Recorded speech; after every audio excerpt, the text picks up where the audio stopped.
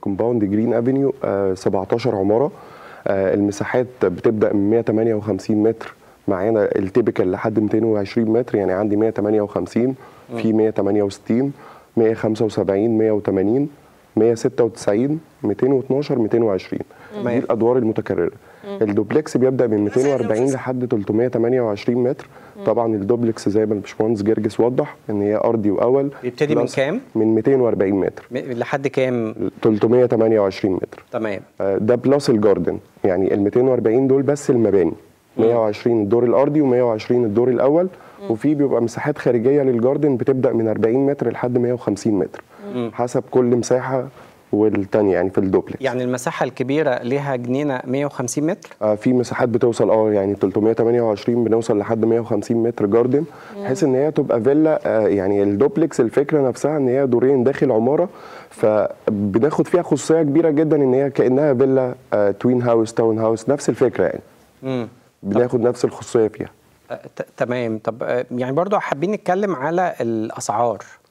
آه الأسعار إحنا هناخد example لمساحة ال 158 متر اللي هي أول مساحة عندنا.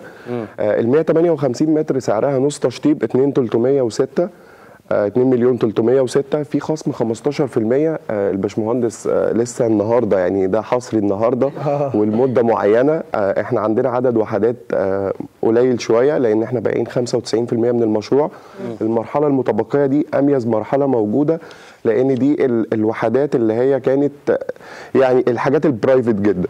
فعاملين خصم 15% وأنا بعلن عنه دلوقتي وده طبعا تحت يعني من بعد إذن الباشمهندس جرجس يعني هي هو اللي نزل لنا الخصم ده النهارده آه، هتبقى مليون 960 هندفع مقدم 10% وهنقسط على سبع سنين.